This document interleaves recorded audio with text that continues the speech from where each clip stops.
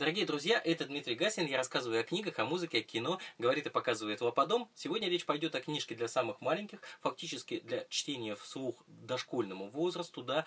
Но э, в данном случае речь идет о довольно сложной теме. Значит, придется сделать небольшое вступление. Любая э, священная история обрастает легендами, э, обрастает э, такой вот э, аурой, да, из материалов, из а, дополнительных легенд, из сказочных историй, полусказочных историй, да, вот, которые вовсе не являются шелухой, а составляют э, необходимый контекст для того, чтобы в культуре, э, значит, эта э, легенда бытовала. И в общем-то, для меня, как для человека неверующего, а, все, а, все, что написано в Библии, да, в Ветхом Завете, является прекраснейшим литературным текстом. Местами а, совершенно неподходящим для чтения детям, вот, очень жестоким, очень суровым, мрачным, непонятным, да, местами скучным для чтения, потому что, знаете, всю бездну премудрости я не почерпну из этого источника. Вот. Но это, безусловно, для меня книга, которую я очень-очень уважаю.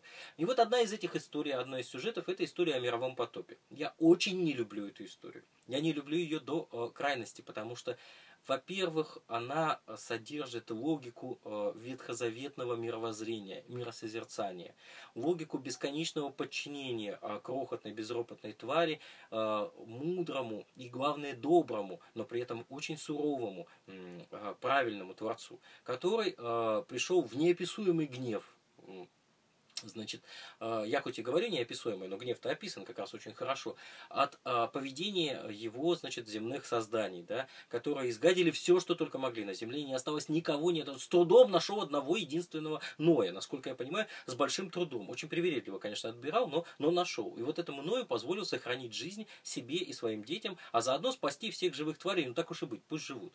Вот. Мне эта история не представляется никакой, э, не имеющей отношения к современному, к тому, что сейчас человечество думает о себе, да.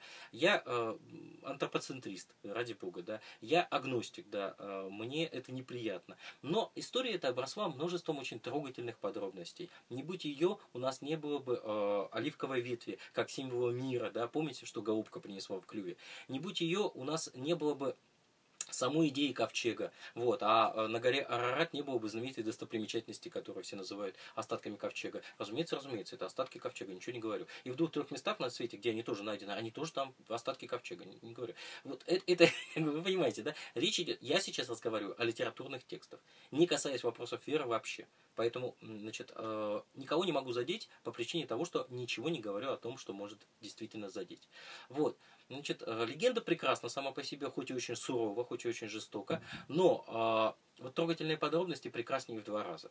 Там очень много всего вокруг нее наросло. И вот одна из книг, о которой я как-то уже рассказывал года два назад, «Ковчег уходит ровно в восемь», она как раз посвящена тем животным, которых спасает Ной. Это очень хороший мотив, на мой взгляд. Там прекрасные пингвины, прекрасная голубка. Почитайте. Останетесь очень, по-моему, довольны этой историей. Вот.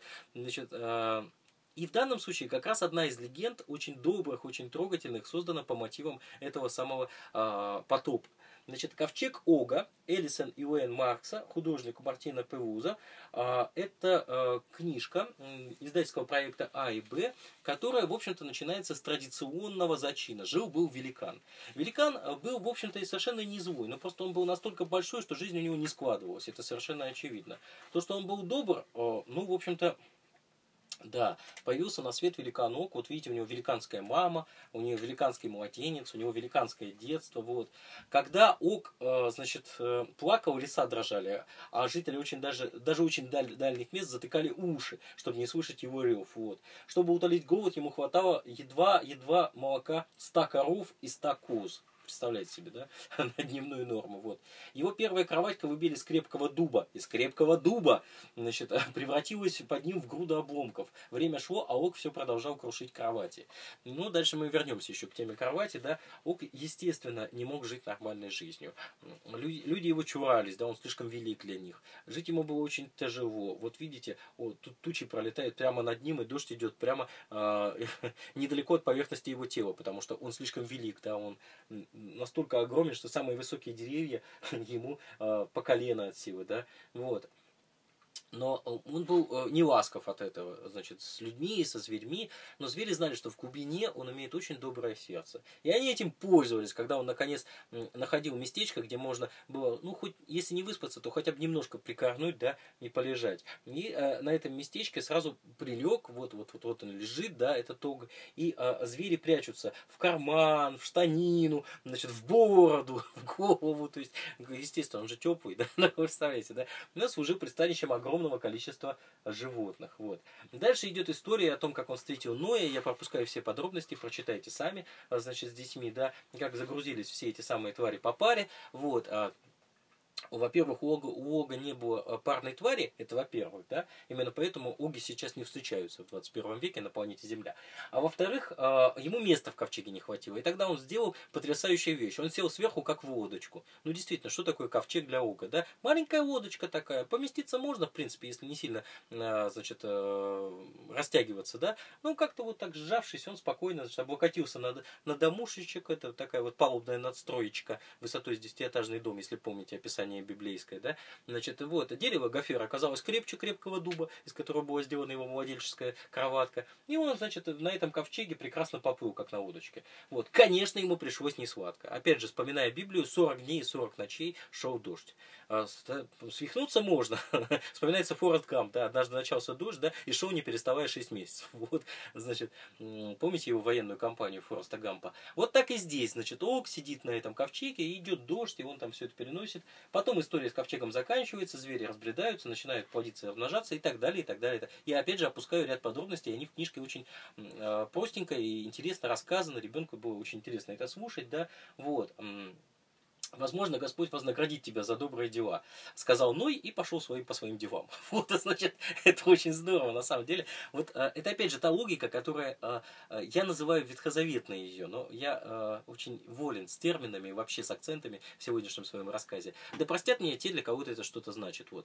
Конечно, вот такая полностью покладистость, да, такая, ну, наверное, вознаградит, ладно, я пошел, все, спасибо, пока. Вот. Ок, напоминаю, собирал, помогал ему собирать животных на ковчег. Вот. Дальше Дальше ок пошел, пошел, куда глаза глядят, по обновленной земле, значит, умытой, и встретил целый дворец. Вот, значит, дворец явно, значит, предназначался, судя по размерам, для него и больше ни для кого. А там он встретил железную кровать гигантскую, как чугунный мост, вероятно, потому что на другой он не смог бы спать. И он лег в эту кровать и впервые в жизни понял, что на этой перине, на этих подушках, на этой гигантской, крепчайшей железной кровати он выспится. Но как только он лег и закрыл глаза, он понял, что что дальше спойлер, не хотите э, слушать финал книжки, выключайте видео, специально делаю паузу. Все, пауза закончилась. Дальше что? Правильно. Ему что-то не хватает. Он не смог спать без животных. Вот. И только когда любимцы, вспомнив о том, что у них есть теплый ог, да, залезли везде, и в пододеяльник, и под подушку, и под мышку, и в бороду, и на голову, и в носок, и куда угодно. Значит, огромные животные от э, крохотных там лисицы, лисицы зайчиков для до слонов, львов и жирафов, да, а, чисто райская такая а, благодать, когда звери, значит, очень мирно ведут себя, никто никого не ест, вот, все примирились, как а, перемирие водопоя, да, перемирие засухи великое, вот, заключили, и на время сна, и вот они все вокруг Ога разлеглись, и на нем тоже, и по нему, ну, в общем, это, конечно, потрясающе, когда кто-то теплый, мягкий кладется тебе в ноги, неважно кто, кошка, ребенок, жена, ну, ладно, обойдусь без шуток, на самом самом деле это действительно вот очень умили, умилительная картина, это все очень умилительно нарисовано, и все наконец-то уснули, да.